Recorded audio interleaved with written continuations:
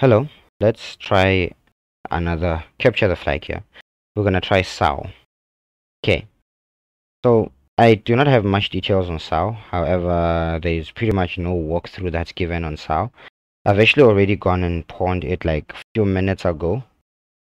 Didn't take me that long exactly but nonetheless let's try the walkthrough so I'm just going to do this as if um, it's like my first time trying to pawn SAO even though it wasn't exactly that difficult for me to pawn SAO but nonetheless let's try.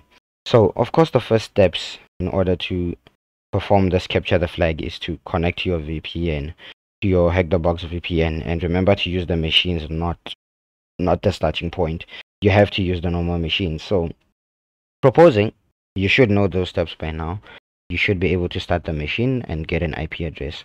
So this is all we have to work with first and we should be able to get um, a flag. The user flag and also the root flag. So it's slightly challenging due to the fact that we have to find two flags for that. Okay so i'm going to propose um let me actually get rid of most of the stuff that i started off with. Okay i'm gonna get rid of most of the exploits that i had written.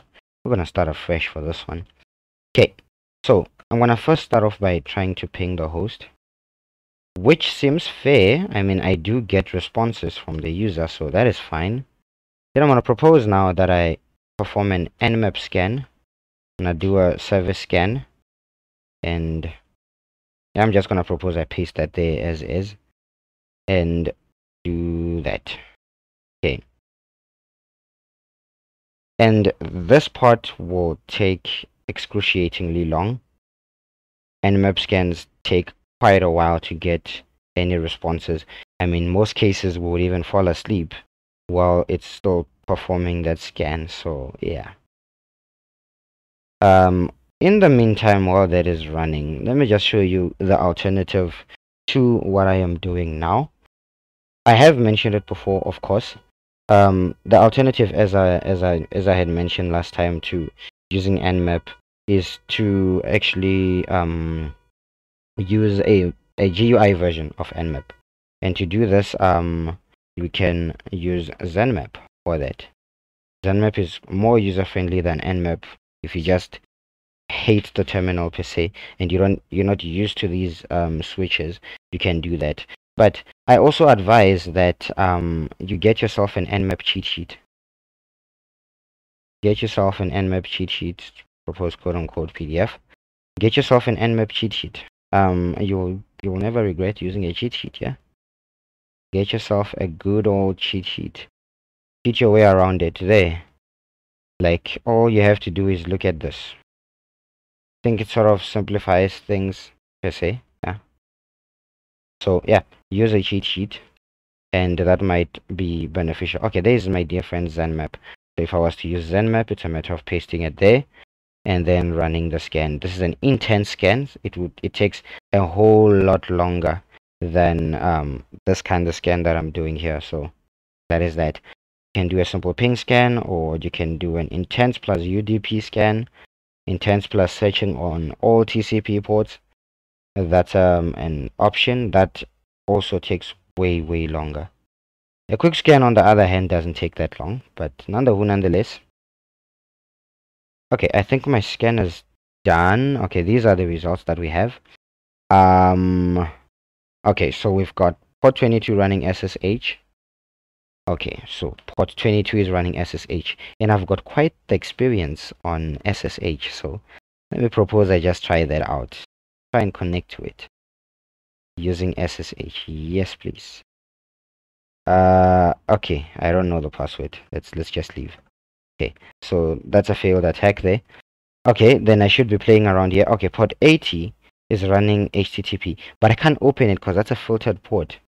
You'll notice that when I try to open that web service it's a filtered port. Only only a certain a certain log of IP addresses that open that web page can go through. It's filtered so we can't even interact with that port so.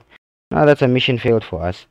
Okay we've got this one it's possible that this port can be a reflection to this port.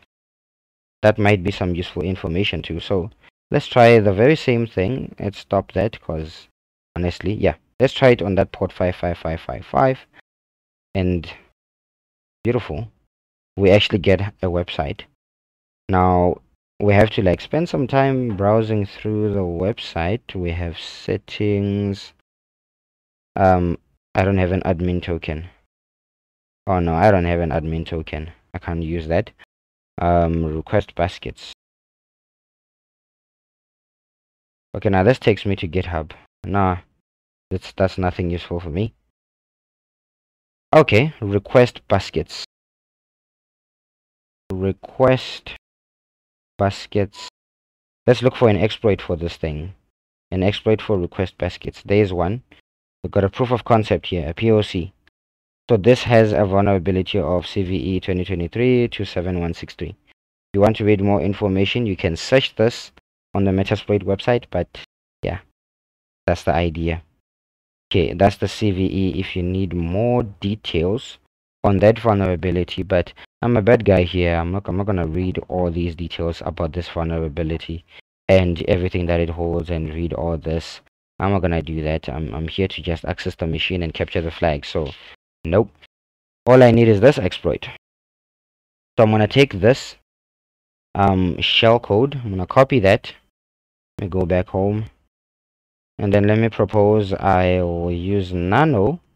Let's call this exploit sh yeah we'll call that exploit dot, dot sh i'm gonna paste all the code there and i'm gonna save this file okay we can clear everything out.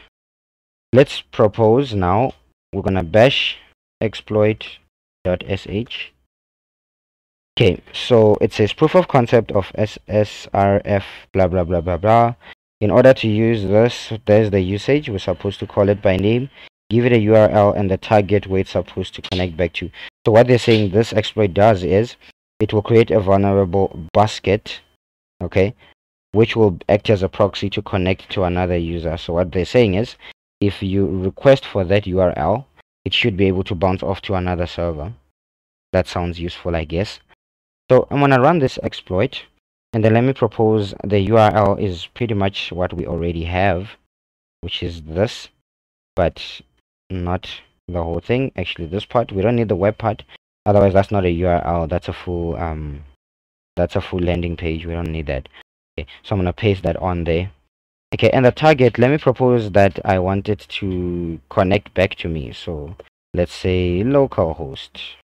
You should connect back to the localhost. You should connect back to me in this case. That's that's what i wanted to do right? So i wanted to whenever we request for something it should set a basket. You click on a basket it should request back to me and um, it should request back to port 80 i mean it's a it's a web page isn't it? Okay. Which is pretty much that that filtered port that we had there. That's that's pretty much what i need now. Okay. So let's see what we have. Okay we actually do have a, a token now. Okay. So we get something like this. Let's copy this. And propose. Now we try and find out what we have there okay fail to forward to this unsupported protocol scheme. Unsupported protocol. Oh my bad. I should have specified which protocol to use. Yes i i'm supposed to be using http there we go. Much better. Okay so what i did now was um, using this URL, it will actually create this basket. But when you click this basket, it's going to set and send a request to this link. Sounds fair, I guess. So I'm to click on that. Um, do I get anything? I get a whole black page there. Uh, okay, I didn't copy that properly. Copy that link. Alright. Uh, threats, events, severity, sources. So this is something called maltrace. I see. Powered by maltrace. Hide threats, reports abuse, and false positives, and all that.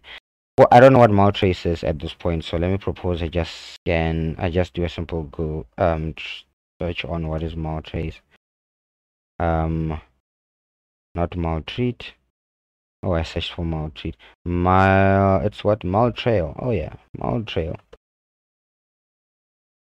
Maltrail. What is Maltrail in cybersecurity? Maltrail is a malicious traffic detection system utilizing public available lists containing malicious and or general suspicious trails. Okay, but it seems like it has a it has an exploit written for it already. So this should be this should be fun. Okay, so this is the source code for Maltrail. Looks something like that. It's able to look for malicious activity. Okay, Maltrail. I want the version 0.53. I mean, this is the version that is actually written in the in the footer there. So I want the version 0.53 exploit. This one. So this is what I need. This we actually get a file there. Let me copy that code just like I did with the previous one. Get back home. Okay, let me nano this and let me propose this is now an exploit.py. For those who are asking why I'm using py, remember this is a py there, so py. Okay, let's run that. Let's paste that there and save that exploit. Okay, let's run this using Python. So Python exploit.py. It says we need a listening IP port and a target URL. Alright, let me read some more information on what this exploit does. Okay. This Python script exploits a command injection vulnerability in Maltese. The vulnerability exists in the login page and can be exploited via the username parameter. Okay, so this has something to do with the login. Here's an example. For example, okay, so we actually do need a, a login page as the redirection so yeah, we do need a login as the redirection. So let's propose we get the login. I think we do have a login for our our website here. I mean, we have web. Do we have login? We have a login page. Okay. It doesn't seem like we do have that. So let's try and revert it back to our login page. So we're going to use the very same exploit that we had before. This one that we ran like this before, but let's let it lead to login this time it should lead to a login page okay so we'll get a new a new basket yeah we get a new basket so let me use this basket. Okay we got a new ba okay login failed. Okay fair. Okay we got a new basket. Okay let's run the python exploit. So the python says it needs a listening ip so I'm I don't even have a listener yet, so let me use netcat. And let me propose I listen on port 1145 I don't know 1145 or something like that. Yeah. Let me propose a lesson on port 1145. Okay, all I'm doing is starting a listener. It's almost like Metasploit where you just start a multi-handler or something like that, a listener to listen for a connection, something like that. And let me check for my IP address. Because at this point I can't use this IP address. This is for my local Wi-Fi. I actually need this um, the IP address for the tunnel. Yes this one. This is the IP address for the entire VPN network. So this is what I need okay. So let's go back to the exploit that we had before. Okay the listener is here. That's fine. Okay yeah this is what we have. Okay so it needs the listening IP okay here's my listening IP okay and i'm listening on port one. That's port one. What port am i what port what port what port am i? Okay 1145 yeah. Port 1145 and the link now that i'm going to propose i use to that actually leads to the login page is this one. So this is the url okay that's the target url okay so I've got the listening IP there the port 1145 and the URL is that one that leads to the login page. So let's propose now we run this okay. Uh where's this? Oh perfect. We got a connection now. Perfect. Now netcat has actually got a connection so we're perfect now. Uh who am i? I'm puma. Okay cool. Where am i though? I'm in Montreal. Okay, take me home though. I wanna go home. I wanna go to the home directory. okay now that i'm in the home directory as you can see i'm in home of puma. Let's see what we have in here we actually have a user.txt file. If we cat this file user.txt we'll find the first flag and this is the user flag which is for this part. and what we need now is the root flag. So to find let me go back home. So now we actually need to yeah we need to perform some privilege escalation for this partner so i'm going to propose that i list all the files like that. Okay um actually i've used the wrong one. Let's go for ln ls la yeah. My objective is to actually look for all files that um, are owned by root per se. Okay so root can go to the previous directory and root was actually in the bash history before okay so there is something that i can do as root. Okay so let's propose sudo check l. What this is is to check for commands that i can run. Remember i'm puma right now. I'm looking for a command that I can actually run as sudo. And I can see that user Puma can run the following commands as sao. Sao being the root user, so I can actually run as sao only this command. This is the only one that I can run as sao. So my idea is to run as sao. When I run something as sao, then I become sao and then I'm essentially root. So let me propose I run this as sao. So sudo is basically who sao is and then I'm going to run that command all of it I'm gonna copy all that like that okay the terminal is not fully functional but it is ready okay so the terminal is ready so let me propose I tell the terminal to give me the bin I don't know give me the bin bash okay I got the bin bash okay I did get the bin so what this means is I'm, I'm trying to access a terminal, a terminal location. So now root at sao. So let me propose I ask it, who am I now? Okay, I'm root. So perfect. I've managed to escalate privileges safely. Okay, now take me to root. Okay. If you check pwd, I'm in root. Uh, do we have any files here? Yes, we do have root.txt. What's inside root.txt? we have the flag. And that, my friends, is how we get that root flag. And that gives us both flags. So yes, majority of the time we just literally running Google searches to find all the entities that we need. But that is how I went through the SAO problem and completed it in real time. Alright, so try the walkthrough and I'll see you guys in the next CTF.